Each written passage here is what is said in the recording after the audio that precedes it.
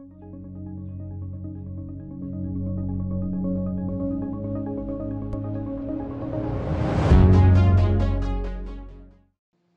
everyone, welcome to this session on cybersecurity.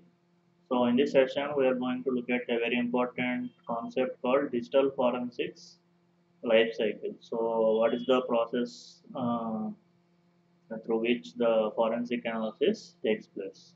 So right from starting to ending. So you can see several phases in the life cycle.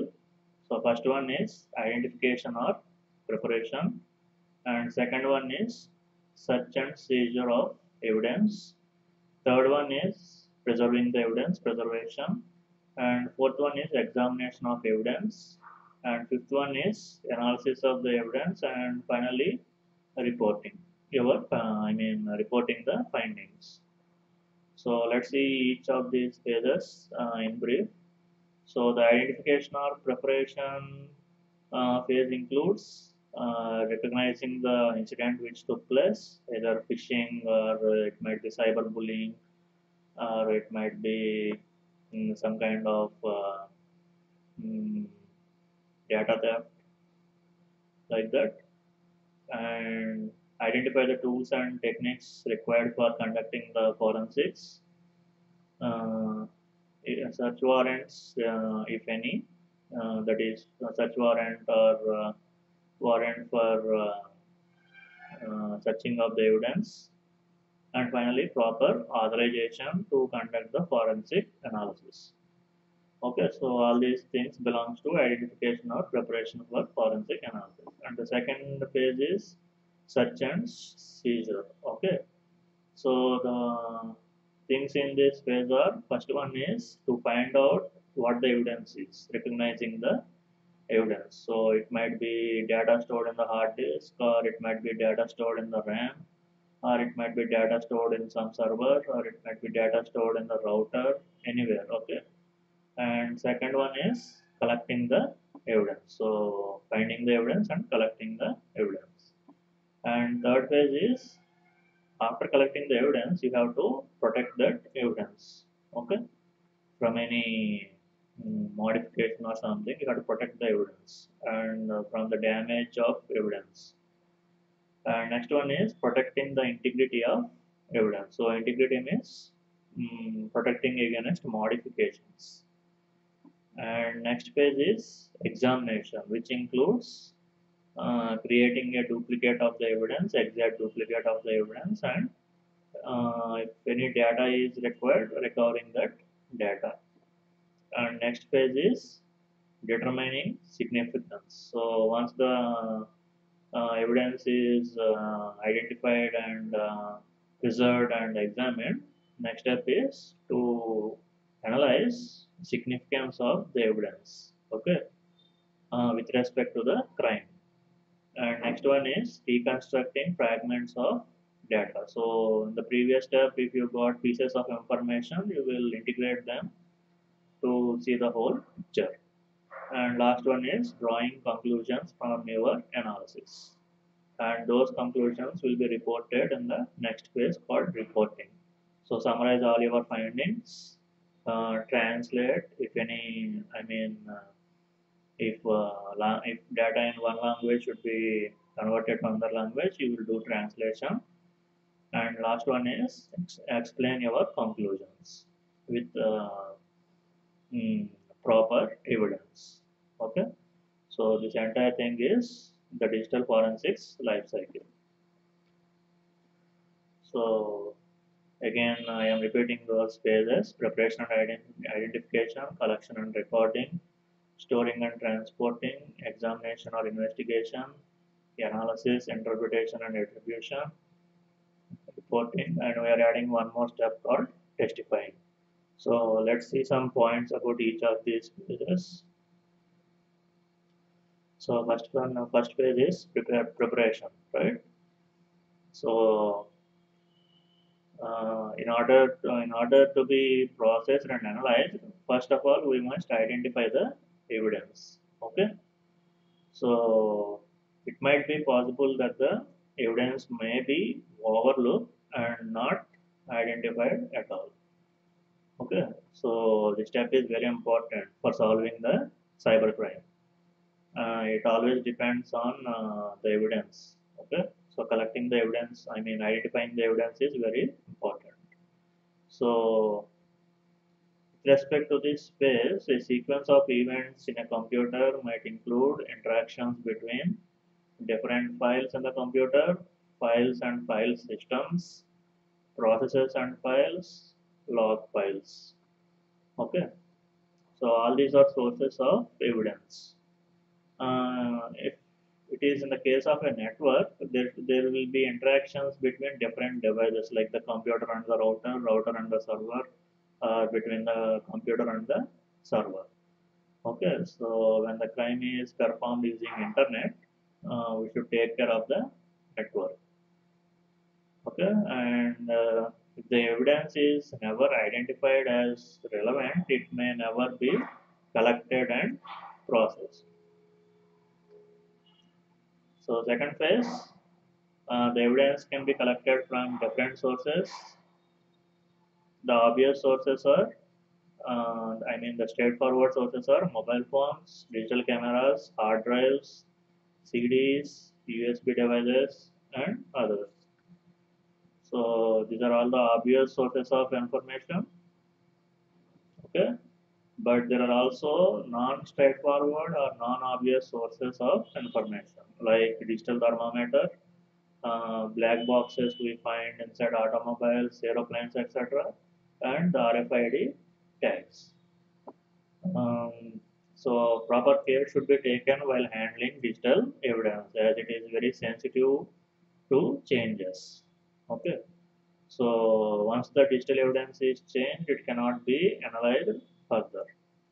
Okay, so proper care should be taken. And moving on, uh, there is something called hashing, which which is related to cryptography. Uh, uh, you can calculate a hash uh, for a evidence, and later it can be checked if any changes are made to it or not. So in the first, um, when you are collecting the evidence, uh, you will use software for uh, computing the hash of that file. Okay, so you will get a string, string of characters, and you will save that string, that hash or string of characters in a secure location. And while submitting the evidence to the court, you can uh, recheck the hash, uh, and if you get the same hash, that means your evidence is okay. The if you get another hash that means your evidence has been changed by some other people. Okay. So sometimes you might find the important evidence inside volatile memory that is the ram. Okay so sometimes the evidence will be in the hard disk and sometimes it might be in ram. So getting that volatile data requires special skills. Okay? And third phase uh, so some of the guidelines for handling digital evidence uh, so they go like this. Image computer media using a write blocking tool uh, for example if you are uh, gathering hard disk as a evidence what you have to do is first of all you need to create an image of that hard disk that is a duplicate of that hard disk. I mean uh, duplicate of all the data which is residing in the hard disk using a write blocking tool uh, like software, some special kind of software.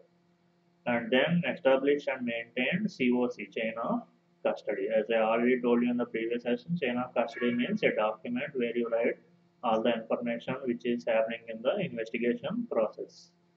So document everything that has been done and only use tools and techniques which have been tested and evaluated and you have to take proper care that your evidence uh, is not taken anywhere without being properly traced so the evidence is very important and you have to properly take care of it okay so the different things that can go wrong while you are storing the evidence are like this uh, the evidence can de- decay over time either it is natural way or in an unnatural way.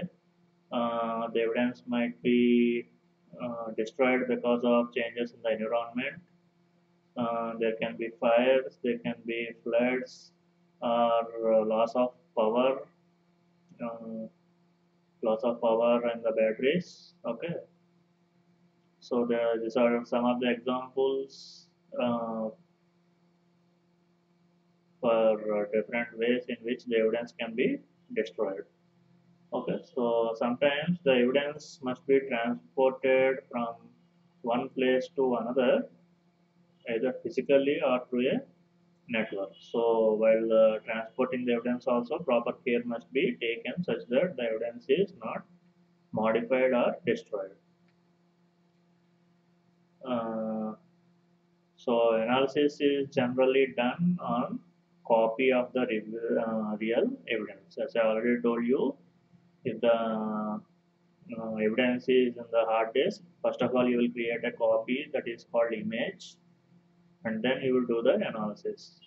So if there is any dispute over the copies, the uh, for example, lawyer of the opposition is saying that uh, the evidence the uh, police have submitted is uh, not correct, then you can produce the real evidence which you have with you. Okay. And next phase, examination phase. So the forensic specialist uh, should ensure that they have proper authority for gathering the evidence and analyzing the evidence. Okay. So uh, as a thumb of rule, uh, the forensic person should not examine the information unless they have proper permission from an authority. Okay, so uh, forensic investigation that is performed on data at rest, that is in a hard disk, is called dead analysis. Okay, and uh, on contrary to that, performing forensic investigation on the data in main memory is called live analysis, right? So uh, nowadays, all the attacks that are being performed are leaving no traces in the computer's hard drive. Okay, and uh, mm, sometimes the attackers exploit the information which is in the main memory. So analyzing that uh, data in the main memory is called live analysis. And sometimes the de decryption key might be available only in the volatile memory, which is RAM. So if you go to the investigation and you turn off the system, you might lose the decryption key. Okay, and you can't get it back once you once the uh, data in the RAM is wiped off and the process of creating the exact duplicate of the original evidence is called imaging. So I already told you it's called an image and the process is called imaging. So some software which you can use to take images of hard disk are DCFLDD, IX Imager and Imager.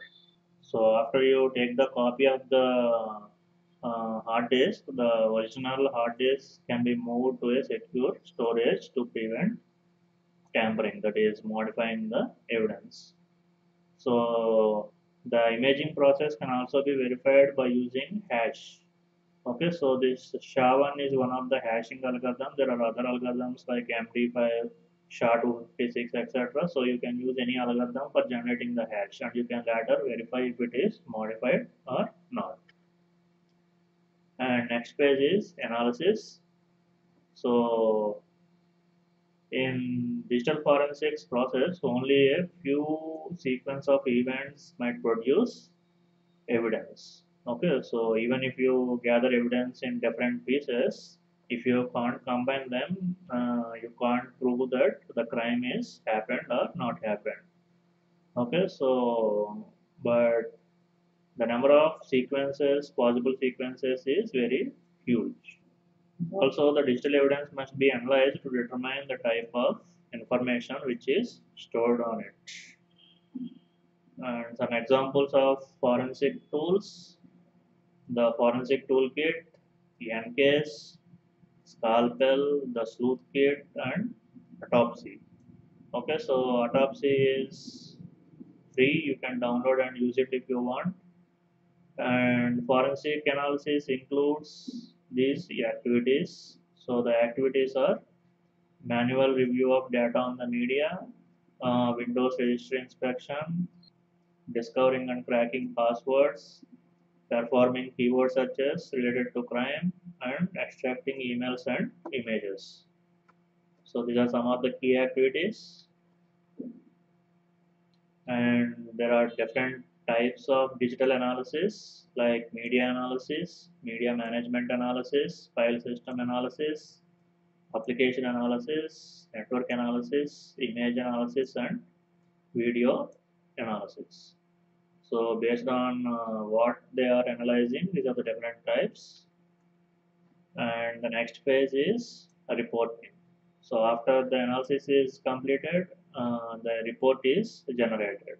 So the report may be either in oral form or written form or it can be both. Uh, so the report contains all the details about the evidence in analysis, interpretation and attribution step. So uh, once the report is generated based on these findings in the report, it is possible to confirm or discard the allegations, either prove the crime or dis disprove the crime. And what are the different things you can find in a report are uh, identity of the report agency who created the report, uh, ID of the case, uh, investigator of the case, identity of the submitter, date of receipt, date of report, uh, list of items submitted for examination, identity and signature of the examiner, uh, brief description of steps taken during the examination, and finally results or conclusions. So all these things will be in a document and the document will be submitted to court.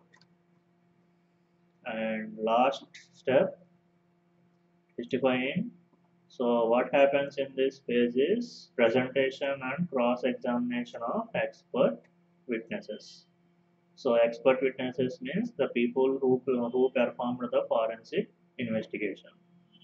So such person can test, uh, provide testimonial the like uh, uh, it is based on different facts or data uh, or it is the product of reliable principles and methods. That is the process which they followed. And also witness has applied principles and methods reliably to the facts of the case. Okay so experts with inadequate knowledge are sometimes criticized by the court. And they might uh, give uh, what do you say punishment also. Okay? And these are the different uh, precautions to be taken while collecting digital evidence. So you can go through these things. You can pause the video and have a look at them. So that's it about digital forensics life cycle. Thank you